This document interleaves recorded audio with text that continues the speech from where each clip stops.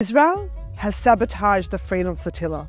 Last night, news broke that in a dirty play of bureaucratic warfare, last minute impossible criteria caused the flag of our lead ship and our cargo ship, filled with life saving aid, to be withdrawn. For any ship to sail, it has to be registered under a country. Our ship passed all of the necessary inspections. Everything was ready to go. But without a flag, we cannot sail. And they think it ends here. They couldn't be more wrong. This is a global uprising of people united. It cannot be broken. The Freedom Flotilla represents hundreds of millions of people around the world sick of witnessing a live stream genocide. Israel has been obstructing humanitarian aid to millions of starving people by land and now by sea. While Israel overrides all international law and continues its criminal and deliberate starvation of Palestinians in Gaza, thousands of tons of urgent relief sit stranded in the harbour. This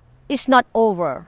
We need the whole world to step up. So, this is an invitation for a nation state to save this mission and raise their flag on our ship immediately. We know this mission represents you, your grief, your outrage, your despair, your love for Palestine, your love for humanity. This attempt to destroy our mission shows the power of the Freedom Flotilla. Don't give up.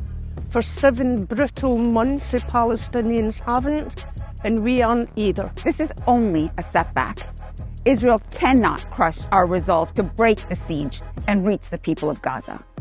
We will sail. Help us continue amplifying this humanitarian movement to break the siege of Gaza. Every day, every hour, every minute counts. The next flotilla might be too late. How much longer can Palestinians in Gaza wait?